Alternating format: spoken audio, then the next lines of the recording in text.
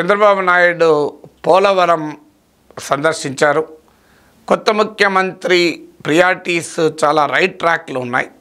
అమరావతిని రెండున్నర నెలల్లో రెండున్నర ఏళ్ళలో పూర్తి చేస్తామని నారాయణ ప్రకటించారు అమరావతిని తక్షణం చేపట్టే కార్యక్రమం మొదలుపెట్టారు వాస్తవానికి ప్రమాణ స్వీకారానికి ముందే పొక్లీనర్లు వెళ్ళి ఆ అమరావతిలో క్లీనింగ్ ఆపరేషన్కు మొదలుపెట్టారు. అందువల్ల ఈ ప్రభుత్వానికి అత్యంత ప్రాధాన్యత కలిగిన అంశాలలో అమరావతి ఒకటి అలాగే మెగా డిఎస్సి నాలుగు వేల రూపాయలకు పెన్షన్ పెంచడం అంటే వెల్ఫేరు ఎంప్లాయ్మెంటు వీటికి కూడా మేనిఫెస్టోలు ఇచ్చారు కనుక వాటికి కూడా శ్రీకారం చుట్టారు. దాంతోపాటు పోలవరం సందర్శన కూడా వెళ్ళారు. అందువల్ల initial moments of Chandrababu Naidu ఖచ్చితంగా మనం ఆహ్వానించాలి. మెగా డిఎస్సి ప్రకటన కానీ కోర్స్ ఇంకా మెగా డిఎస్సిలో ఇంకా ఖాళీగా ఉన్న ఉపాధ్యాయ పోస్టులు ఉన్నాయి. వాటిని యాడ్ చేయాలి మనం అడగచ్చు.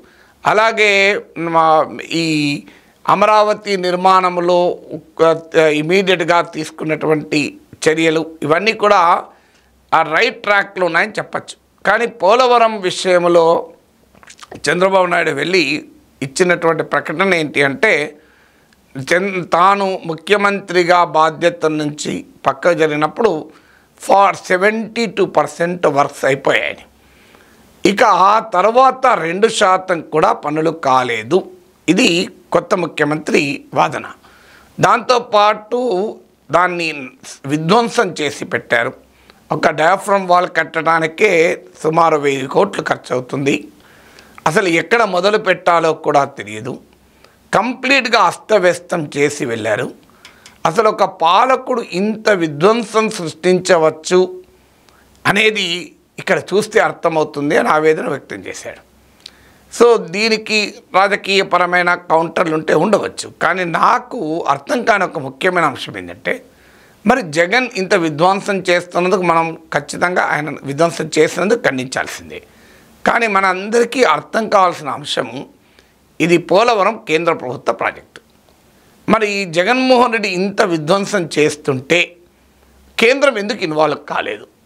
కేంద్రము ఈ ప్రాజెక్టును తమ చేతుల్లోకి తీసుకొని అమలు చేయమని చేయడానికి ఎందుకు ప్రయత్నం చేయలేదు?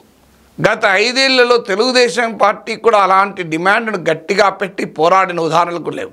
మీరు జగన్ చేతుల్లో పోలవరం ఉంటే విధ్వంసం తప్ప ఏమీ మిగలదు. మీరు తక్షణం దాన్ని వెనక్కి తీసుకొని కేంద్ర ప్రభుత్వమే పూర్తి చేయాలి అని. ఎందుకంటే నాకు గుర్తు జగన్మోహన్ రెడ్డి ముఖ్యమంత్రిగా ఉన్న సమయంలో మీకు రెండు ఉదాహరణలు చెప్తాను. ఒకటి విశాఖ స్టీల్ ప్లాంట్ ప్రైవేటీకరణ. స్టీల్ ప్లాంట్ పూర్తిగా కేంద్ర ప్రభుత్వ రంగ సంస్థ. అది కేంద్ర విధానం ప్రకారమే ప్రైవేటీకరిస్తున్నారు. కానీ తెలుగుదేశం పార్టీ విమర్శించింది ఎవరిని? జగన్మోహన్ రెడ్డినే విమర్శించారు. విశాఖ స్టీల్ ప్లాంట్ను కాపాడలేకపోతున్న జగన్ ప్రభుత్వాన్ని తప్పుపడుతున్నామని అన్నారు. మరి అలాగే రెండో ఉదాహరణ కూడా చెప్తాను. పెట్రోల్ ధరలు డీజిల్ ధరలు పెరిగాయి. పెట్రోల్ ధరలు డీజిల్ ధరలు పెంచడానికి మొదటి ముద్దాయి కేంద్ర ప్రభుత్వం. అఫ్కోర్స్ ఆంధ్రప్రదేశ్లో జగన్మోహన్ రెడ్డి ప్రభుత్వం కూడా రాష్ట్ర పన్నులు కూడా భారీగానే వడ్డించింది. కాదని అన్ను. కానీ అసలు కేంద్ర ప్రభుత్వం కదా ఎక్కువగా పన్నులు వధించింది రెండు వేల పద్నాలుగులో పెట్రోల్ కే డీజిల్ పైన కేంద్ర పన్నులు ఎన్నుండే రెండు వేల ఇరవై నాలుగు ఎన్నున్నాయి. కానీ కేంద్ర ప్రభుత్వాన్ని ఒక్క మాట తెలుగుదేశం అనలేదు. కానీ ఎవరన్నారు పెట్రోల్ ధరలు పెంచుతుంటే పెంచుతున్నారని జగన్మోహన్ రెడ్డి ప్రభుత్వాన్ని తప్పుపెట్టారు. అంటే అటు విశాఖ స్టీల్ ప్లాంట్ అయితే పూర్తిగా కేంద్రం బాధ్యత. ఇక పెట్రోల్ ఛార్జీల్లో ప్రధాన బాధ్యత కేంద్రాన్ని అయినా తెలుగుదేశం కేంద్రంలో ఉన్న మోడీ ప్రభుత్వాన్ని గత ఐదేళ్ళుగా తప్పుపట్టకుండా రాష్ట్ర ప్రభుత్వాన్ని తప్పుపట్టారు. అలాంటప్పుడు అసలు పోలవరం కేంద్రాందే బాధ్యత కదా. ఈ విషయంలో మరి రాష్ట్ర ప్రభుత్వం విధ్వంసం చేస్తుంటే కేంద్రం చూస్తూ ఊరుకుంటే కేంద్రం తప్పు కదా? నా గుర్తు ఈ ఐదేళ్ళలో నితిన్ గడ్కరీ కూడా వచ్చిపోయినట్టున్నారు. ఆయన కూడా మరి పోలవరం పట్ల సంతృప్తి చెందాడా లేదా? అందువల్ల ఇవాళ భారతీయ జనతా పార్టీ సమాధానం చెప్పాలి. వైఎస్ఆర్ కాంగ్రెస్ ఎలాగూ సమాధానం చెప్పాలి. అనుమానమే లేదు. ఐదేళ్ళు వాళ్ళు పాలించారు కనుక చంద్ర కొత్త ముఖ్యమంత్రి చేస్తున్న ఆరోపణ చాలా సీరియస్ ఆరోపణ. డెబ్బై రెండు శాతం పూర్తయిన పోలవరం పనులు కనీసం రెండు పర్సెంట్ కూడా ముందుకు సాగలేదు అని. ఎందుకంటే ఇది కేంద్రం నిధులతో నడిచే పని. ముందు కావాలంటే కాస్తన్ని డబ్బులు ముందు పెట్టాలి తర్వాత రీఎంబర్స్మెంట్ చేస్తారు. మరి ఎందుకు చేయలేదు పోలవరాన్ని? చే- చంద్రబాబు నాయుడు చేస్తూ చేస్తున్న విమర్శ నిజమా? ఆ విధ్వంసం ఎందుకు చేస్తారో వైఎస్ఆర్ కాంగ్రెస్ చెప్పాలి. కానీ ఇది జరుగుతుంటే ఒకవేళ ఈ విధ్వంసం జరుగుతుంటే భారతీయ జనతా పార్టీ ఏం చేస్తోంది? కేంద్ర ప్రభుత్వం ఏం చేస్తోంది? ఎందుకంటే వాస్తవానికి విభజన చట్టంలో జాతీయ ప్రాజెక్టుగా కేంద్రం ఇచ్చింది. అయితే చంద్రబాబు నాయుడు ప్రభుత్వం దానిని ముందుగా మేము ఫాస్ట్గా ఇంప్లిమెంట్ చేస్తాం. సెంట్రల్ గవర్నమెంట్ అయితే ప్రాసెస్ లేట్ అవుతుంది అని ఒక సదుద్దేశంతో వాళ్ళు తీసుకున్నారు. డెబ్బై రెండు శాతం పూర్తి చేశారు. కానీ ఎప్పుడైతే ఇది పూర్తి కాలేదో అప్పుడు కేంద్రం ఇన్వాల్వ్ కావాలి కదా. కేంద్రం ఎందుకు ఇన్వాల్వ్ కాలేదని ఎందుకు అడుగుతలేరు? దీనికి ఆన్సర్ ఉండాలి కదా. మోడీ ప్రభుత్వం ఎందుకు ఐదేళ్ళుగా ప్రేక్షక పాత్ర వహించింది? అంటే ఆన్ జగన్మోహన్ రెడ్డితో తమకున్న రాజకీయ అవసరాల రీత్యా రాజకీయ సంబంధాల రీత్యా ఆంధ్రప్రదేశ్కు జీవనాడి అయిన పోలవరం విధ్వంసం చేస్తున్న మోడీ ప్రభుత్వం ఎందుకు చూస్తూ ఊరుకుంది? మోడీ ప్రభుత్వం ఎందుకు ప్రేక్షక పాత్ర పోషించింది? దీనికి ముందు భారతీయ జనతా పార్టీ సమాధానం చెప్పాలి.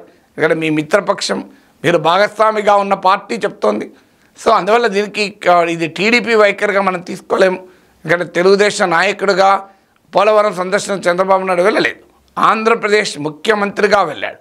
ఆంధ్రప్రదేశ్ ముఖ్యమంత్రిగా ఆంధ్రప్రదేశ్లో ఎన్డీఏ ప్రభుత్వ అధినేతగా ఐదేళ్ళ పాటు పోలవరంలో జగన్మోహన్ రెడ్డి విధ్వంసం చేశాడు. ఇది నిర్దిష్టమైన ఆరోపణ. మరి ఈ విధ్వంసానికి కేంద్రం బాధ్యత ఏమీ ఉన్నదా? జాతీయ ప్రాజెక్ట్ అయి కేంద్ర ప్రభుత్వం నిర్వహించాల్సిన ప్రాజెక్టులో కేంద్రం ఈ విధ్వంసాన్ని ఎందుకు ఉపేక్షించింది? ఎందుకు ప్రేక్షక పాత్ర వహించింది? ఎందుకు చూస్తూ ఊరుకుంది? ఈ ప్రశ్నలకు కేంద్రం సమాధానం చెప్పాలి భారతీయ జనతా పార్టీ సమాధానం చెప్పాలి.